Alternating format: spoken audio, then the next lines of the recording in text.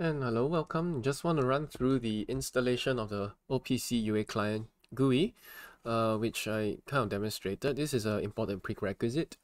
So on Windows, it's uh, quite simple. I mean, you, you cannot quite do it the same way as, as Linux, where you install PyQt5 and everything.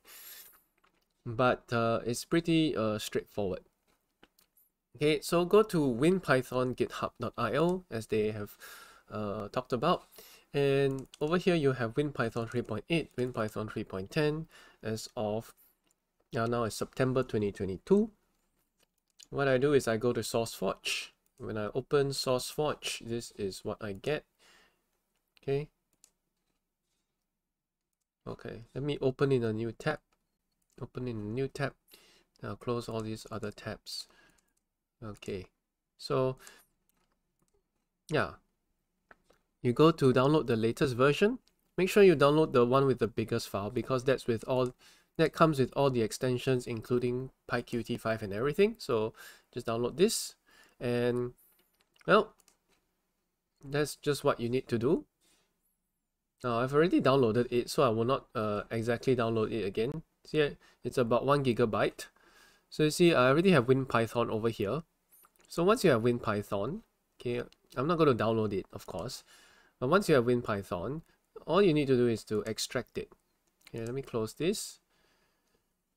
Uh, okay, let's see. Yeah, will close this.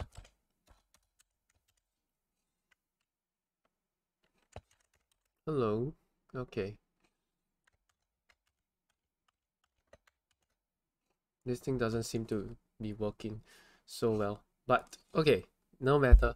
Um, go to documents or downloads. I think I put it in downloads. No, documents. Yeah. Stand by. Let me check where I installed it. Oh yeah, I put it in the documents file under my D drive. So that's where it is. WinPython 3 uh, 6.0, 3. WinPython 64, 3.10.5.0. Okay, so they'll tell you, okay, when I open this, I need to extract it to an archive. So I've already extracted this. This will actually take a while. And where I extracted it, it is done. It will be extracted into this thing called WinPy 31050. So that's the version number. Open it up. and you'll have a few options. You can use command prompt, control panel, interpreter, PowerShell, prompt, or terminal, Windows terminal. So I'll just open a PowerShell prompt Okay, and this is a PowerShell. Let me clear this up. It will be this color, or at least on this computer. What are we looking for? Over here, well, uh, over here we already have the right Python environment. Okay, so once we have the right Python environment, when uh, we execute this uh, PowerShell prompt, this is like a localized Python environment with all the PyQt's and everything, all the uh, necessary dependencies installed. All you need to do is pip install opcua uh, client. Okay, so for me, I already installed it, so um, it's already uh, pretty much finished. It has all the necessary dependencies uh, and all I need to do is just run it. opcua client. Okay, so this is the OPCUA client.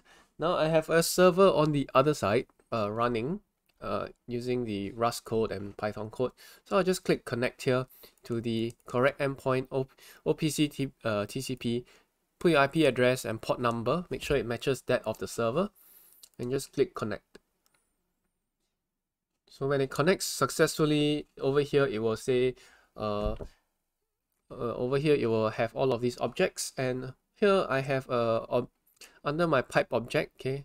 Under object pipe object I have a Reynolds number which I can switch around and it will kind of change uh it will kind of change the the, the value. So uh of yeah it will change the value of the Reynolds number. So yeah here's my Reynolds number.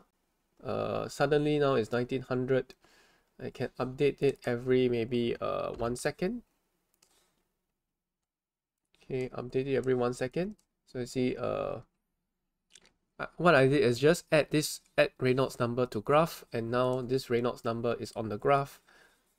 And I can change it to 1700 okay then you'll become 1700 here. So it's a very nice I mean it's a nice uh, OPC UA client. You don't need to really pay anything for it. That's the best part. You should be able to uh, do things do lots of stuff with it. So this is a two, 2000 2000 uh, Reynolds number 2000 uh, and of course on the server side I'm actually uh, getting the uh, server to uh, yeah I'm getting the server to calculate some friction factor from this. And hopefully one can calculate some uh, kind of pressure loss sooner or later from it. Okay so this is all I have. This is how you do it on Windows uh, um, and then also there is a OPC UA simulation server just for your like information here. There is a simulation server which you can connect to. Okay, let's see whether it is there. Okay, because this this is like by default inside your inside here. Okay. Doesn't seem to be working very well. Okay, doesn't seem to be working very well. So uh, yeah, it looks like you have to just like make real servers. So there are a few IP addresses by default. Yes, this simulation server. There's OPC TCP localhost 4840.